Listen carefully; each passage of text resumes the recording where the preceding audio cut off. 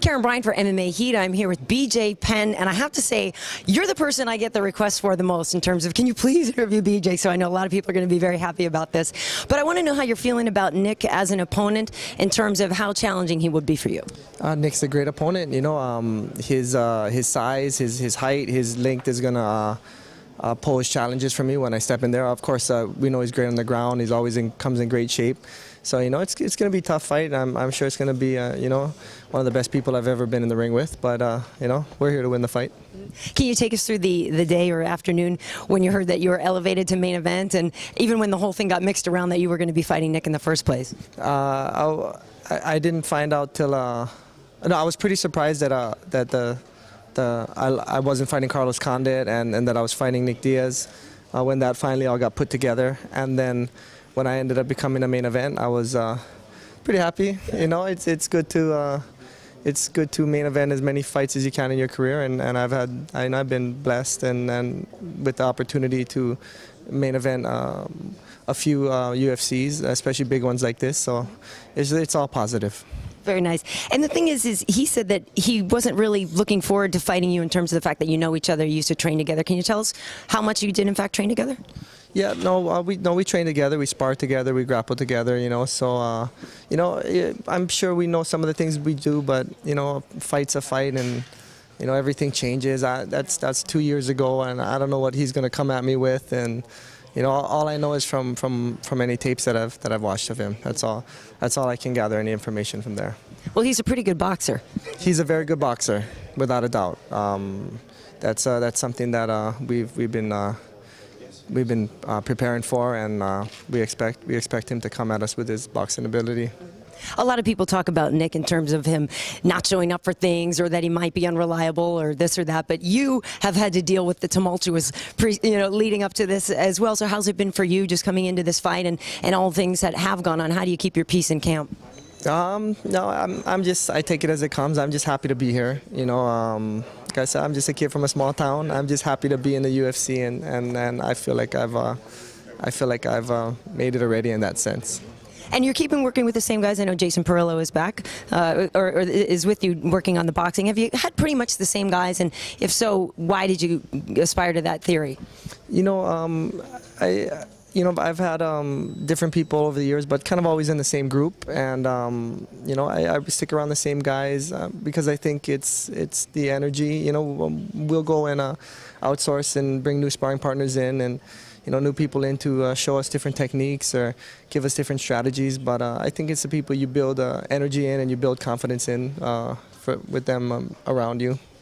You said you have a love-hate relationship with MMA. How you feeling about it right now? And hopefully you're loving it and going to stick around? I love mixed martial arts as of right now.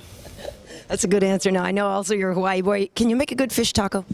Uh, fish taco. Uh, I can make a pretty good regular taco. good burrito. Nice, very nice. Well, thank you for talking with me, and good luck to you. Thank you. Do you mind?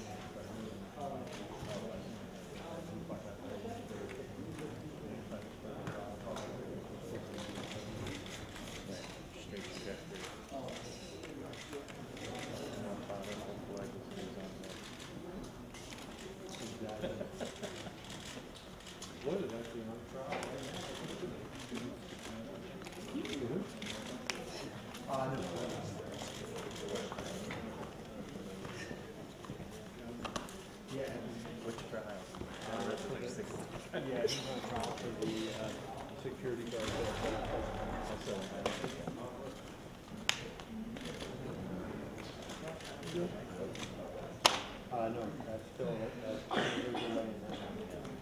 I face you.